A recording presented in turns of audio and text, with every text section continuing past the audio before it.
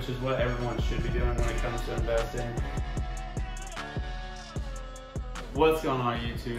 Taylor Prentice. I'm here with my boy Andrew again, and today we're going to be talking about how you can invest your first $500 and what you need to know going into it. So let's just go ahead and get right on into it. $500, uh, some people might not think it's very much to get started with, and some people might think it's too much to get started with, but it's actually a good amount. If you're a beginner investor, you should know if all you have is $500, maybe you shouldn't invest all of it because you shouldn't invest more than you can lose.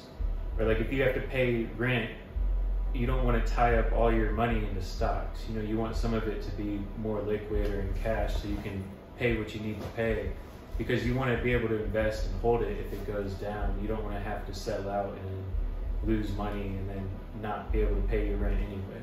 Yeah, this is something I preach all the time on this channel is you never want to be forced to sell out of your positions when you're down or in the short short term because you never want to see like something just shoot up right after you sold out because you needed that money. So yeah, that's just a position you never want to be in is investing money that you need to have to spend. And a lot of people will look at the gains in the short term, but what we want to show you is what that $500 can do in the long term, even if you don't touch it, if you just let it sit. To show that, we're going to use a compound interest calculator, which you can find on the internet by Googling it. What Andrew was saying is you take $500, you invest it, uh, you wait 50 years, which obviously seems like a long time, but granted we'll all live 50 years longer.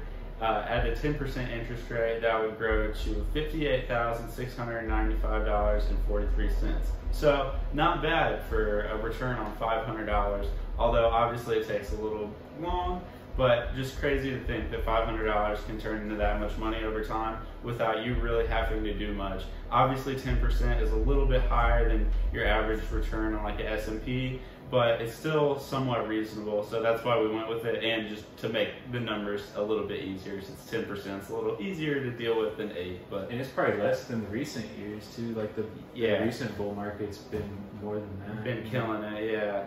And uh, as long as you don't have to touch it, you know, this could be a good chunk to save for your kids or for like a late retirement. And you got to think about like if you weren't spending that 500, you were just saving it. You got to think about over 50 years how much in or how much uh, inflation would eat away at that $500 principal. So starting with 500 and ending up with 58,000 is it enough for you. What you could do is invest consistently, which is what everyone should be doing when it comes to investing investing isn't like a one-time lump sum investment and then all of a sudden you make all this money. Really, it's something that you should be doing consistently to grow your wealth and just have more funds available and get that compound interest in action. And to show you guys that, if you were to just add $100 each month on top of your $500 principal investment, you would end up with $1,595,054.68 and that's based on the same numbers of 50 years and a 10% interest rate. So yeah, that just shows you the importance of investing consistently and how much like $100 a month may seem like a lot to some people and obviously it's a lot easier for some people to be able to invest that than others. Some people's uh, budgets are a little tighter than others, but just if you can invest any consistent amount and try to grow that over time, once you start like buckling down and investing 20 bucks or 25 bucks, you'll figure out ways that you can kind of cut down on your spending or just ways to make other money. Once you start seeing those numbers go up, it gets kind of addicting. Yeah, you'll just go down the rabbit hole of different ways to cut your expenses, build your income, and then just build your investments too. It's all about long term because if you think about what most people spend their money on a month, you're spending a hundred dollars on something that's short term, whether that's like junk food or like or like uh, a phone bill, drinks at the bar, it, it really anything. Most people could budget that out, and when you think of it in the long term, then you could end up with a million and a half that you never else would have had. And to just show you like the importance of investing long term, so like I said earlier, if you were to invest 500 uh, in the beginning and invest $100 each month for 50 years, you'd get the roughly one and a half million. But if you were to only do it for 25 years, you would only have $135,000, which obviously is still a ton of money off of your principal, your initial investment, but uh, definitely not anywhere near a million and a half dollars. So. So let's just show too, if you wanted to take it up a step and budget a $100 a week, what would that change it to?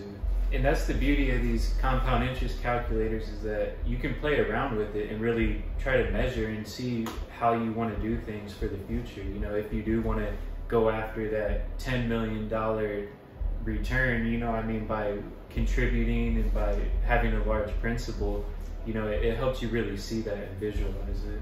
52 weeks of the year, so if you're putting in $100 every year, 5,200 throughout the year, that would give you 6.7 million. So yeah, just a crazy number. And like right now, I try to invest like a thousand every month, and like the compound growth does not feel like it's go like has any motion but that's because i'm like in the beginning of my investment journey and i know a lot of that compound interest doesn't come in until later. Like if you look at warren buffett's growth or like his wealth over time you'll see like the end is just rapid growth and because and that's because of compound interest and that's really been why he's done so well. And that was exemplified where in 25 years you're making way less than half of what you were making 50 years. In 50 years, you're making like 10 times what you would have made in 25 years because of that power that every time the money gets bigger, it's compounding to get even bigger, it's snowballing up. So yeah, we base the calculation on a 10% interest return, and that is basically the average of what the indexes have done in the past. But to his point, if the market's going down, he's not going to see that 10% gain each year you know, it's on average. So if it goes down this year, he's hoping that over time he's going to get more gains to where it all equals out. But you might not see it in the short term or even in the first, I mean, 10 years, you know, I mean, you might not see a huge gain, but once you really let it snowball, that's that's where the Warren Buffett money comes in. So you might be asking us, if you want to invest $500, what are you going to invest in? Where are you going to put your money? And that's a really personal question. So for me, it, was stocks. Uh, just made the most sense because you don't need like a ton of capital to get started, and they're pretty easily accessible now with places like Robinhood and Webull. You can do no commissions trading. And uh, a little plug for us: if you guys need a Robinhood or a Webull account, you can sign up down below and get some free stocks the Robinhood is my link and the Webull is Andrew's account. So pick whoever you like more or just whatever app you want to use. Webull is the better app. Robinhood's a little easier to use, but I do think Webull offers a little more in-depth analysis and just better stuff to look at for more advanced users. But yeah, like I said, uh, for me and him, it seems like stocks were just like kind of the go-to. But for some people, you could even like start a business with $500. Obviously, it's a little hard to start a business with $500, but like we were saying here, if you're able to add your monthly income like $100 to that business, maybe over time you can get it to where you want it to be. And uh, there are just some other ways, like crypto is obviously a pretty lucrative way to invest right now. What's a good way you think? I mean, there are all kinds of things you, you could invest in, like from real estate, you know, to flipping cars or any any type of small business, you know, where you could buy something low and sell it high. So yeah, you want to know what you're investing into for sure.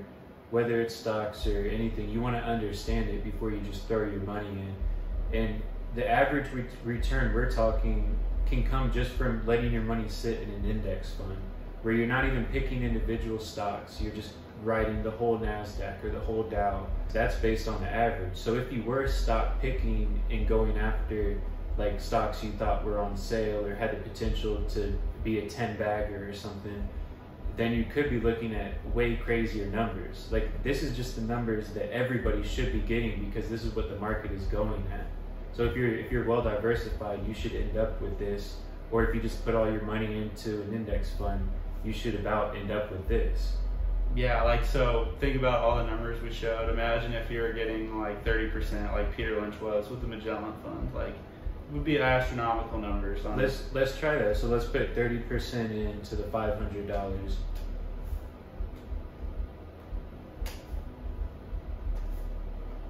And this is without contributing anything. Yeah, so your initial $500 investment, no monthly additions, 50 years to grow at 30% interest would be 200, roughly $250,000, which is pretty good. And yeah, you got to think Peter Lynch, like that's like what he did. Like a lot of us have like normal jobs and normal life, like somewhat normal lives. So yeah, getting 30% is not really realistic, but coming up with a way to add $100 to your account is realistic for most people. So.